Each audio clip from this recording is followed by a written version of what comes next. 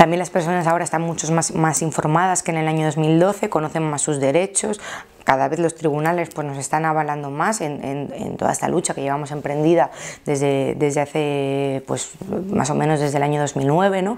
Y, bueno, digamos que tenemos más herramientas y más armas para poder defendernos. Entonces quizá también por eso, quizá eh, se, evidencia que se evidencia menos en las televisiones, ¿no? Porque muchos desahucios los conseguimos paralizar antes de que lleguen eh, 100 policías armados a desahuciar un bebé, como podíamos ver en imágenes de hace hace eh, un año y medio.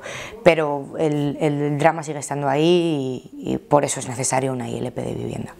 Y ya por último, eh, esta semana he visto una nota de prensa de la Comunidad de Madrid eh, donde el consejero de Vivienda celebraba que el número de viviendas libres terminadas en la Comunidad de Madrid había crecido como un 10% en comparación al, al año anterior.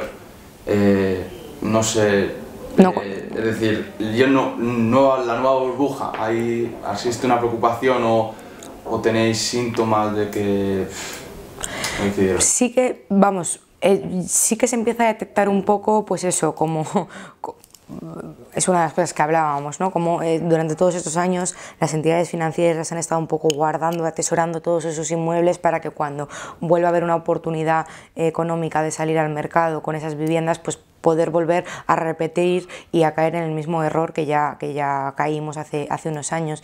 Y es cierto que, que esa sensación, eh, pues sí que empezamos a notarla y, y, y, evidentemente, vamos, yo entiendo que, que, cualquier persona en su sano juicio que querría evitarla, ¿no? Entonces yo no he leído esa, esas esa nota de prensa, esas declaraciones, pero entiendo que no, no, no hay tanto que celebrar, sino que lo que hay que hacer es ponerse manos a la obra para cambiar de una vez por todas el que nos ha traído hasta aquí.